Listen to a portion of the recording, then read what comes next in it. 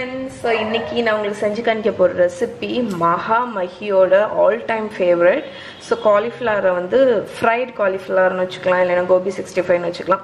So இது வந்து cauliflower ஒரு ஃப்ளவர் இருக்குல்ல அதை வந்து குட்டி குட்டியாக கட் பண்ணி உப்பு போட்டு தண்ணி ஊற்றி பாயில் பண்ணி வச்சுருக்கேன். பார் பாயில் தான் ஒரு ரெண்டு நிமிஷம் போல் பாயில் பண்ணால் போதும். ஓவராக பாயில் பண்ணக்கூடாது. ஸோ அதை வந்து வடிகட்டி வச்சுருக்கேன். ஸோ இப்போ இதில் வந்து எல்லா இன்க்ரீடியன்ஸும் ஆட் பண்ணிடலாம். ஸோ ஏற்கனவே உப்பு போட்டு பாயில் பண்ணியிருக்கேன் அதனால் கொஞ்சமாக உப்பு போட்டிருக்கேன். அதுக்கப்புறம் இதை இதில் வந்து டேஸ்ட்டே வந்து லெமன் ஜூஸ் தான். அந்த புளிப்பு தான். ஸோ அதனால் லெமன் ஜூஸ் ஊற்றிக்கோங்க அதுக்கப்புறம் சில்லி பவுடர் நான் வந்து காஷ்மீரி சில்லி பவுடர் யூஸ் பண்ணுறேன் அது ஏன்னு பார்த்தீங்கன்னா நேச்சுரல் கலர் தர்றதுக்கு.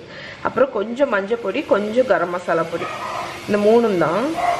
காரமும் இருக்காது. அதனால குழந்தைங்க பிரச்சனை இல்லாமல் சாப்பிடுவாங்க. அதுக்கப்புறம் கொஞ்சோண்டு பேக்கிங் பவுடர் இது வந்து கிறிஸ்பினஸ்ஸை கூட்டுறதுக்கு வேண்டி இஞ்சி பூண்டு பேஸ்ட் ஒரு டீஸ்பூன் இதில் வந்து மைதா மாவும் கார்ன்ஃப்ளவர் மாவும் வச்சுருக்கேன். அதை போட்டுக்கலாம். இப்போ வந்து இது எல்லாத்தையும் நம்ம கம்ப்ளீட்டாக நல்லா வந்து மிக்ஸ் பண்ண போகிறோம் தேவைன்னா தண்ணி ஊற்றிக்கலாம் கொஞ்சம்.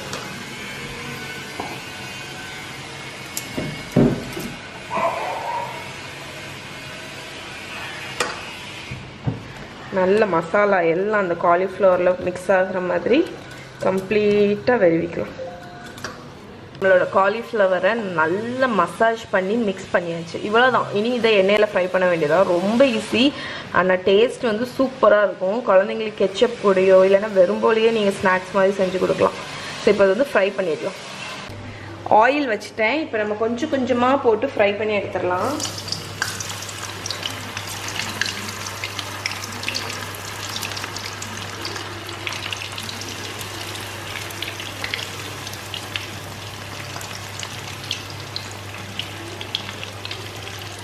ஸோ குறவ ஆயில் வச்சு ஃப்ரை பண்ணி எடுங்க ஸோ நம்மளோட கோபி சிக்ஸ்டி ஃபைவ் நல்லா ஃப்ரை ஆகிடுச்சு இதை நான் இப்போ ட்ரெயின் பண்ணிட போகிறேன் நம்மளோட கோபி சிக்ஸ்டி ஃபைவ் ரெடி ஆகிடுச்சு ஸோ இதை ட்ரை பண்ணி பாருங்கள் ட்ரை பண்ணி பார்த்துட்டு எப்படி இருக்குன்னு சொல்லுங்கள் ஸோ இதோடு இன்றைக்கி வீடியோ முடிச்சுக்கிறேன். இன்னொரு வீடியோவில் உங்களை மீட் பண்ணுறேன் பாய்